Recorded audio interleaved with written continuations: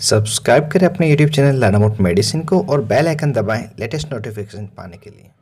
स्वागत है दोस्तों एक बार फिर से ही आपके अपने यूट्यूब चैनल अबाउट मेडिसिन में, जहाँ आप पाते दवाइयों के बारे में संपूर्ण जानकारी।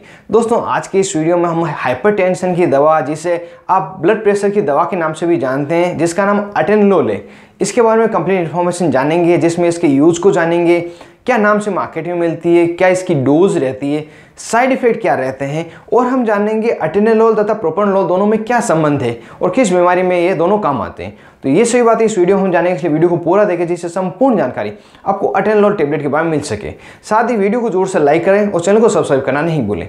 मैं हूँ आपका दोस्त मोहित और आप देख रहे हैं अपना यूट्यूब चैनल मेडिसिन चलिए आज फिर कुछ नया सीखते हैं।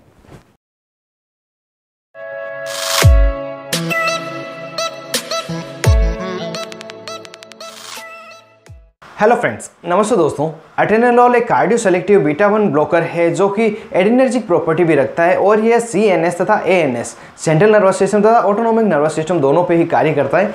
एटेनोल आपको कॉम्बिनेशन साल्ट में तथा सिंगल साल्ट दोनों में मिल जाएगा और जब आप इसको कॉम्बिनेशन साल्ट में देखते हैं तो एम्लोडिपिन के साथ में ज़्यादा तरीका कॉम्बिनेशन मिलता है।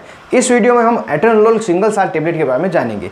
यदि हम इसके यूज़ के बारे में बात करें किन किन बीमारियों इसका प्रयोग लिया जाता है तो एटेनोल का प्रयोग जो मुख्यतः है हाइपर जिसे हम हाई ब्लड प्रेशर कहते हैं इसके इलाज में किया जाता है। यदि किसी व्यक्ति का ब्लड प्रेशर नॉर्मल से बढ़ गया हो मतलब 120 अपॉन 80 से बढ़कर ज़्यादा हो गया हो तो उस समय उसे नॉर्मल तक लाने के लिए यह एटेनलोल टेबलेट डॉक्टर द्वारा प्रेस्क्राइब की जाती है। साथ ही कोई व्यक्ति जिसको एंजाइना की दिक्कत है मतलब इस समय व्यक्ति की चेस्ट में दर्द रहता है, दबाव सा रहता है और टाइटनेस रहता है। और यह ज़्यादातर व्यक्ति जब स्ट्रेस ले लेता है या कोई फ़िज़िकल एक्टिविटी कर रहा हो, जैसे वॉकिंग कर रहा हो या रनिंग कर रहा हो तो उस समय देखने को मिली है। और इसका कारण है व्यक्ति के जो हार्ट पर ब्लड का सर्कुलेशन है, वो प्रॉपर नहीं रहता, साथ ही ऑक्सीजन की सप्लाई प्रॉपर नहीं रहती। तो उस समय यह चेस्ट में पेन होने लगता है और ये जो पेन है, आपको लेफ़्ट हैंड में या चेस्ट में रहेगा।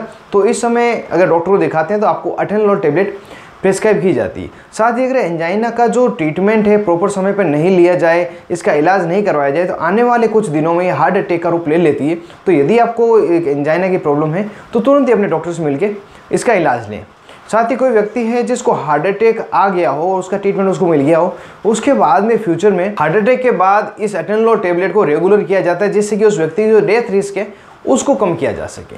और कोई व्यक्ति है जिसकी इरेगुलर हार्ट बीट रहती है, जिसे हम कार्डिक एरेथमिया बोलते हैं, इसमें व्यक्ति जो हार्ट बीट है, या तो नॉर्मल से कम हो जाएगी या नॉर्मल से ज़्यादा हो जाएगी। अगर नॉर्मल हार्ट बीट की बात की जाए तो 72 बीट्स पर मिनट होती है। इससे कम ज़्यादा होने पर ये अटेनलोल टेबलेट डॉक्टर द्वारा दी जाती है। और इसके अदर यूज़ की अगर बात की जाए तो इसका प्रयोग माइग्रेन हेडेक के ट्रीटमेंट में भी किया जाता है। जी हाँ दोस्तों माइग्रेन को ठीक करने के लिए भी यह दवा डॉक्टर द्वारा दी जाती है। अब आप सोचेंगे माइग्रेन में ट्रीटमेंट में भला ब्लड प्रेशर की दवा कैसे काम करेगी? तो दोस्तों, आप में से कई लोगों को पता होगा, एक दवा आती है जिसका नाम प्रोपरनोल है, जो माइग्रेन हेडेक में या किसी दूसरे प्रकार के सिरदर्द में दी जाती है। अगर इसके क्लासिफिकेशन की बात की जाए तो ये नॉन सेलेक्टिव बीटा ब्लॉकर है। और अगर दूसरे हाथ में एटेनोल के क्लासिफिकेशन की बात की जाए तो ये सेकेंड जनरेशन का बीटा वन ब्लॉकर है।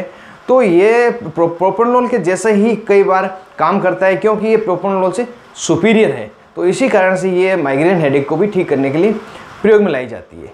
और हो सकता है दोस्तों इन सभी यूज़ के अलावा भी डॉक्टर अपने एक्सपीरियंस के अकॉर्डिंग किसी और बीमार में इसका प्रयोग ले, कोई न्यू रिसर्च के अकॉर्डिंग इसका प्रयोग ले तो वो ले सकते हैं दोस्तों। दोस्तों यूज़ जानने के बाद बढ़ लेते हैं इसकी ब्रांड नेम की तरफ़। क्या क्या ब्रांड नेम मार्केट में अवेलेबल है? जैसा कि आप सभी को पता है अटोरवास्टिन दवा का जेनेरिक नाम है, और ये इसी नाम से मेडिकल स्टोर पर मिल जाती है, और कई सारे इसके पॉपुलर ब्रांड नेम भी रहते हैं। जो पॉपुलर ब्रांड है, उसमें से कुछ है Tenormin tablet Hipres tablet Atenova tablet Aten tablet Betacard tablet ये कुछ इसकी पॉपुलर मैंने ब्रांड बताई जो ज़्यादातर मिल जाती है आपको कहीं पे भी। और हो सकता है इसके अलावा कोई दूसरी ब्रांड आपको मिले, लेकिन जो सभी ब्रांड्स हैं, एक ही जगह दूसरी सब्सटीट्यूट की जा सकती है, क्योंकि जो दवा का मूल नाम है, वो अटेनेलोली रहता है। और अगर इसकी स्ट्रेंथ की बात की जाए तो ये पच्चीस मिलीग्राम 50 मिलीग्राम तथा 100 मिलीग्राम की अलग अलग स्ट्रेंथ में आपको मार्केट में मिल जाता है। दोस्तों, अब बढ़ते हैं इसकी डोज की तरफ़, कितनी मात्रा में डॉक्टर द्वारा प्रिस्क्राइब की जाती है। जैसा कि आप सभी को पता है, जो दवा होती है, बीमारी के टाइप के अकॉर्डिंग उसकी डोज रहती है, साथ ही पेशेंट की एज और वेट के अकॉर्डिंग रहती है। जो हाइपर के लिए एडल्ट की जो डोज है मैं आपको बता दूँ, शुरुआती में पच्चीस मिलीग्राम की एटेनोल टेबलेट मरीज़ को दी जाती है और एक से दो हफ़्ते तक इसको रेगुलर दी जाती है। दिन में एक टेबलेट दी जाएगी। वो खाने के बाद तक था खाने के पहले दोनों ही समय में ले सकते हैं। और ये दो हफ़्ते में अगर उसका ब्लड प्रेशर कंट्रोल हो जाता है तो पच्चीस मिलीग्राम की उसको रेगुलर कर दी जाती है और ब्लड प्रेशर कंट्रोल नहीं होता है तो पचास मिलीग्राम या सौ मिलीग्राम उसको पर डे की देकर उसे मेंटेन थेरेपी के रूप में रखा जाता है।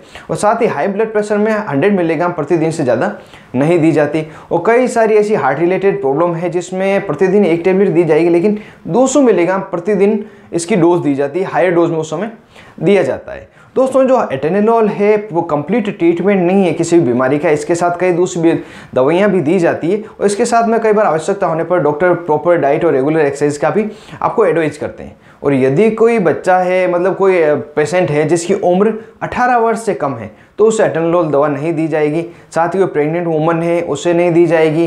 ब्रेस्ट फीडिंग मदर को ये दवा नहीं दी जाएगी। और यदि आप इस दवा का सेवन कर रहे हैं तो एल्कोहल का सेवन बिल्कुल भी नहीं करें, आपको प्रॉब्लम कर सकता है। और ये दवा लेने पर यदि आपका ब्लड प्रेशर नॉर्मल रह रहा हो, आपको किसी प्रकार की समस्या नहीं हो रही हो तो इस दवा को आप रेगुलर लेते रहें। हो सकता है आपको लाइफ टाइम भी लेना पड़े। जब तक आपका डॉक्टर मना नहीं करे दवा लेने के लिए आप इस टेबलेट को नहीं रोकें। और जब इसको रोकना हो तो सडनली नहीं रोके। अपने डॉक्टर के एडवाइस के अनुसार इसको धीरे धीरे रोकें। और दोस्तों, कुछ बातें मैं आपको बता दूँ। यदि उन समस्याओं से आप पीड़ित हैं तो अपने डॉक्टर को ज़रूर बताएँ, जिससे कि जो अटेनेलोल है, उसकी डोज एडजस्ट करके डॉक्टर लिख सके या यह नहीं लिखे, कोई दूसरी दवा आपको लिख सके।